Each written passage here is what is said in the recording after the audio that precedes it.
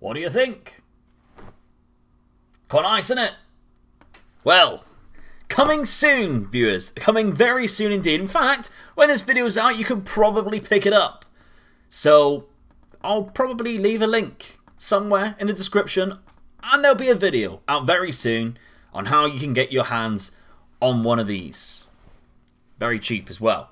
Less than 30 quid, I promise you that. About 25, roughly. I haven't worked out the exact price yet, but we will. By the time this video is live, we will know the price. So, there we go. Anyway, we have a player spotlight on our hands. We do, viewers. Uh, shall we take a look?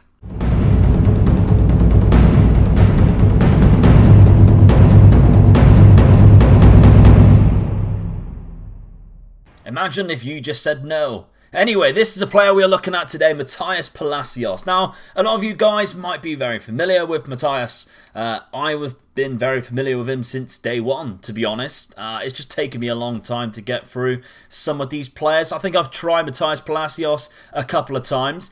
But both times I was trying him, I was trying him in this cam role, and we know now that the cam role is kind of broken, viewers. It just doesn't work. No matter who you put in that cam role, they just go missing. So, in this player spotlight, viewers, we're going to try him in a different position. And it works. So, there we go. That Little spoiler. Anyway, little spoiler. Okay, let's have let's have a look at how much Matthias costs because you can find him in the San Lorenzo under 20s. Uh, 4.7 million they were asking for.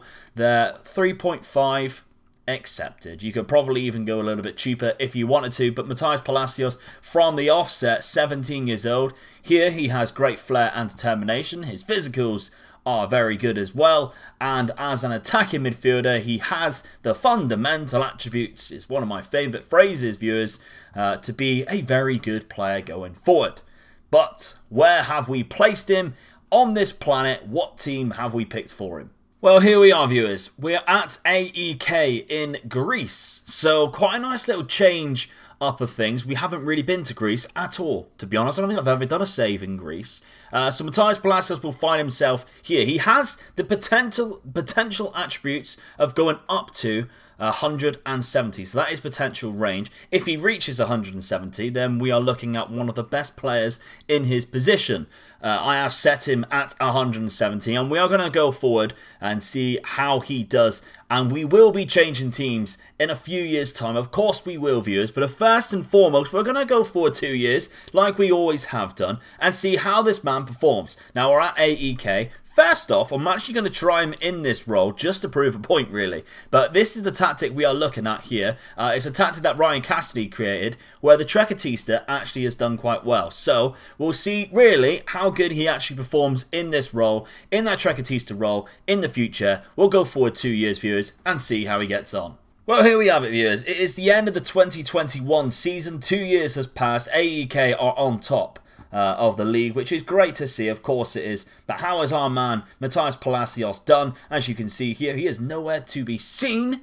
On the tactics, here he is, the Trequartista role. He has scored 8 goals just this season, but that's not really, we know, we know it's kind of broken. 135 current ability is where he is currently sat, uh, so he is progressing quite nicely in his development. Uh, some good attributes here in dribbling, long shots, passing, technique, vision, flair and determination. Some good attributes in some good places at the age of 19, just turned 19 as well, a month beforehand. Uh, he is wanted which is nice to see too. The first season, he actually had a very good year, a better year than he did in his second season. He pulled off 8 goals and 8 assists with 4 player of the matches in just 28 games, a 7.21 average rating, 12 goals, 11 assists in total. A fantastic uh, season, you might say, for AEK. Uh, and the second season wasn't quite as good. Just the 8 goals and 6 assists in total, a 7.03 average rating. But I, I, this this guy deserves more. I think uh, he is wanted by Manchester City of all clubs. So that goes to say how much uh, you can get for him because he is already valued viewers at 5.75 million, and that's in the Greek league, which we know the valuations don't quite match how good the players naturally are, and that's down to league reputation. It's facts, viewers. It's just how the game works. But anyway, let's go forward another year and see how his final season in AEK ends up. And well, league form-wise, viewers, we won the league yet again, so we're happy with that, uh, to say the least. And let's see how our man has done. He has had a better season by the looks of things, and his current ability is 144. So development-wise, quite pucker. Uh, I think. Uh, let's have a look at history. So he's had the best goals tally so far this season 11 goals in total in 36 appearances. Just the 5 assists, 2 player of the matches, 7.03. 15 goals in total across all competitions, 9 assists with 3 player of the matches. So he's done slightly better than he has done before, uh, which is nice to see, of course it is. Competition wise, they were knocked out of the Europa League Cup. They were knocked out of the second round by the Europa League 2 by Sevilla, which is quite unfortunate, coming up against Sevilla, which was won by Lazio. So that is actually quite a difficult uh, league to win. If Lazio and Sevilla are in it, a club like AEK are going to struggle, to say the least. The Cup, though, have they won the Cup? They won the Cup two out of the three years, so that's good as well. Happy days with that. Uh, the league we didn't see if they won it the first year. They didn't. Olympiacos took the trophy the first year. So two trophies in the league, two trophies in the cup. I think that's quite a success in three seasons for Matthias Palacios. Where is he headed now? Where in Europe am I going to put him? Well, viewers, we have landed in Atalanta in Italy. One of my favourite Italian sides. I just like what they stand for. I like their club colours as well, hence why mine matches. Now, Matthias Palacios is here, and unfortunately, because of the stupid Italian rules of non-EU players, which I don't know how to how to set it up. I really don't. I signed this man right at the start of pre-season, and we still couldn't actually loan him, uh, uh, load him as our player. I don't get why it does it. I really don't, and it's quite frustrating to be honest. That non-EU rule, and I know a few people have struggled with that non-EU rule in the past. If anyone has some kind of like definitive answer, please let me know. But it was quite nice in a way because we we, we signed him for 11 million from Atalanta. Uh, I I started doing the the uh, the simulation, and then halfway through I thought that non-EU thing that could cause a problem here, Luke. So I stopped the simulation around about Christmas. And I seen that he hasn't even been playing any games, so he's kind of stunted his growth. So I offered him out on loan, and San Lorenzo, his original club, came in for him. And so far, he's played 18 games. He's got two goals, four assists, two player of the matches, a 7.12 average rated. But don't worry, viewers, he arrives back in Italy, and we do finally play some games for Atalanta. But we'll go forward another year and have a look. And here we are at the end of the fifth season. Uh, a bad league form for Atalanta, but it is a very difficult league, I must say. Ninth place, but we do have this qualification, and that is because they won the Euro Cup too. Great stuff. Now, did our man play a part? Of course he did. Here he is. Yet again, we've been playing him in the cam role. I did this a long time ago. I can't quite remember whether I actually put him in different roles now. I hope so, but it does look like he's actually been playing left back as a makeshift left back and a makeshift right mid. Uh, so he's been filling in in different places. Not to my knowledge. So I don't quite know what's going on there. But if we have a look at this, 144 current ability, he's had his growth stunted because of that half a season where he wasn't playing. And that has annoyed me very slightly because he is now 22 years of age. He should be coming into his prime. He should be getting closer and closer to that 170 mark and we're not seeing it quite yet. Midfield orchestrated by the media, 27 million, so his value is a lot better, viewers. So even at 144 current ability, he has good value. This season, he played every single game and he scored 9 goals and he got 4 assists with 3 player matches. Now, considering we are playing him in that cam role yet again, I think that's quite a nice little return there. 12 goals in total, 13 assists very nice across the continental competitions. And that continental competition was won. We played in the Euro Cup 2 and we won that competition on penalties against AZ in the final. Good stuff. We cannot see his name anywhere here, but he played a part in it, viewers. That is the main thing. Uh, Atalanta, the third winners of that trophy, knocked out the cup by the semi-finals uh, by the winners, Roma. So, I don't think that's too bad. But what's happened here, Luke? At the end of the sixth season, it is the sixth season. We're at AC Milan. And why is that? Well, I decided, viewers, that we needed to change something with Matthias Palacios. We needed to get him out of Atalanta. He's had a bad experience there. Yes, he won a European trophy. But the first season we couldn't register him. The second season we still played him in the cam role, which doesn't really suit this match engine. So the third season in Italy, we moved him yet again to AC Milan. And I think this was a fantastic decision because as we can see, AC Milan won the league. 81 points to Juve's 80 and they do have a very established side. I will say that. Uh, we signed this guy, for instance, who is unbelievable. And I know a few of you guys are going to go, What? How good is that guy? I know, right? Aston Villa, 80 million we spent for him. Worth it. 37 goals in total. But we're not here to look at Taylor Slotmaker. Oh, no, we're not. We're here to look at Matthias Palacios. So, shall we? And here is Matthias Palacios, now at a current ability of 158. That is what happens when you start playing in a better side with better success. We are already matching the same amount of games as what he's played in Atalanta in the two years because of that that stupid rule. Uh, but we're up to 158 current ability. He is now valued at 49.5 million pound. So that's I mean, we bought him for 3.5 to begin with, if you remember rightly. So if you did buy this player for 3.5 million pound, and you got a player who managed to reach 158, you played him in a decent league, 49 million pound is a big, big profit. If someone wants to come in for him for that, then fair enough, they're going to have to spend a lot of money. We actually bought him from Atalanta for 33 million, so I was kind of fair still to Atalanta. I gave them their money's worth. They trebled their money in total, and they only used him once in one, one season anyway. Uh, five goals, seven assists, three player of the matches, a 7.16 average rating. So not quite as good in the goals tally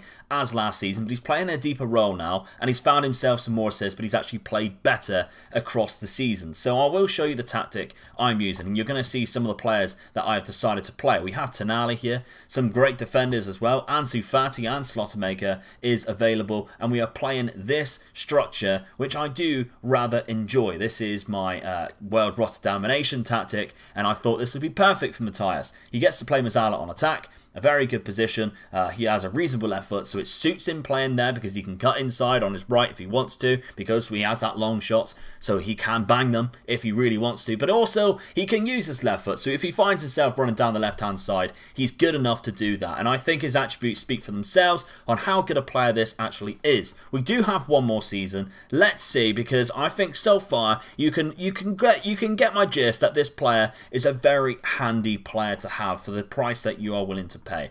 Uh, remember as well, because of the potential ability and a lot of his attributes are not full, uh, you will get players, you will get a Matthias Palacios every now and then who has better finishing, or you will get a better, uh, better attributes in the physicals. That's just how the potential range works. Uh, in my situation, of course, we benefited because we have good passing, long shots, first touch and dribbling. The finishing, we don't really need it to be that high. Yes, it's nice, but I would prefer it spread across different places, which is what we have. The mental attributes are great, and I'm really happy with that.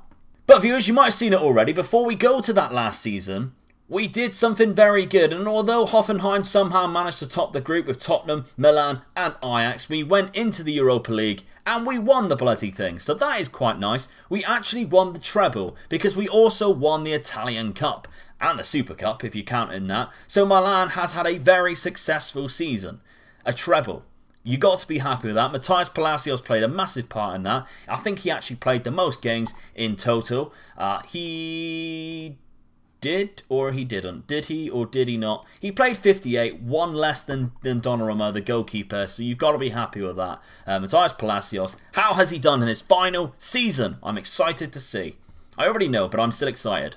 And here we go, viewers. The final season is here.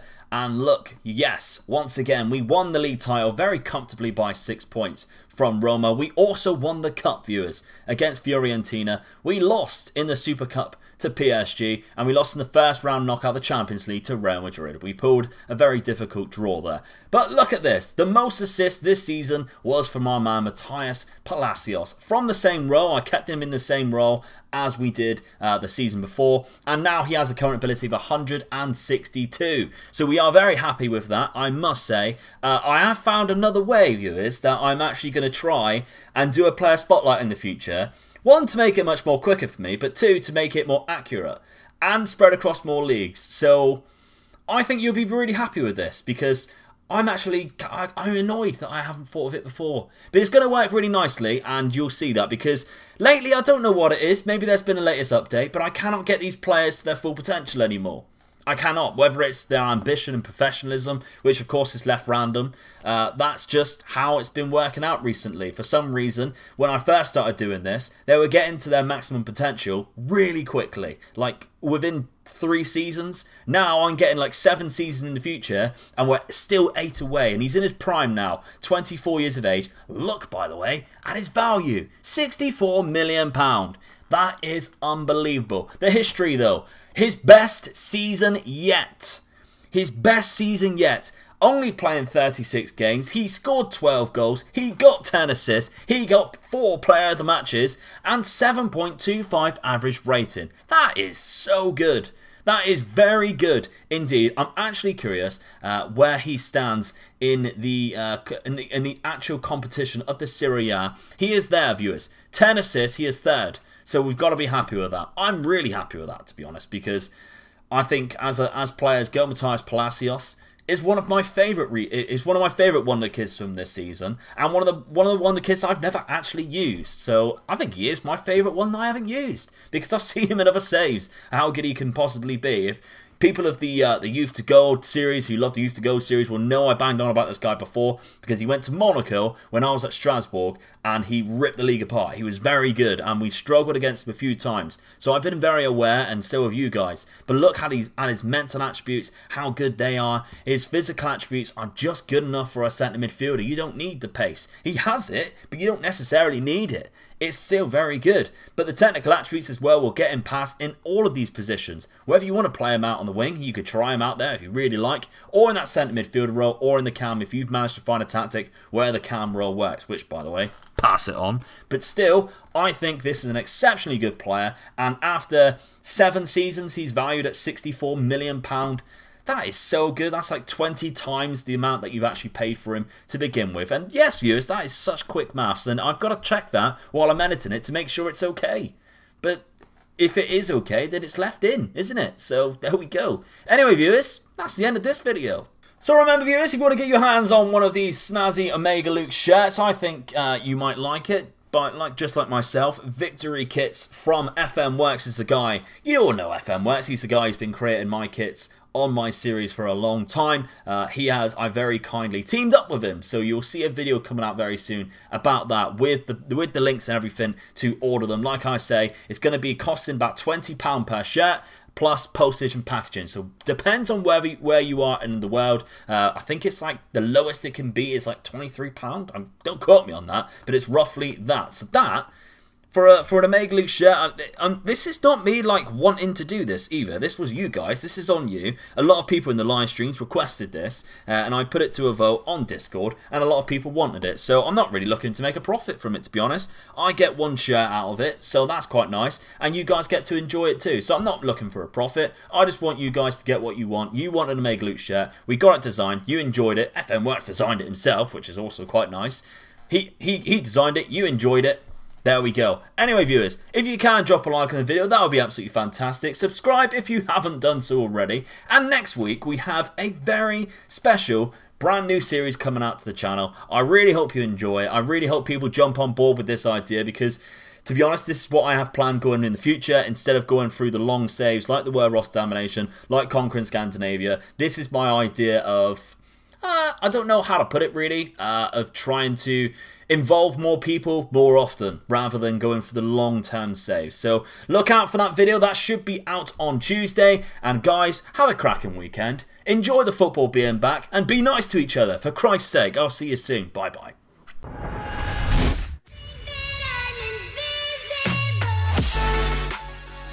Thank you for watching the video. If you enjoyed it, remember to smash that like button. Hit the Patreon page if you want some early access to some videos or to sponsor a player. And here is a video that I think you might like.